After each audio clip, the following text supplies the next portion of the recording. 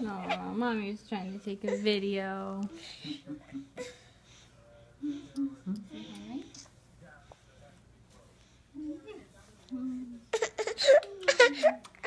oh,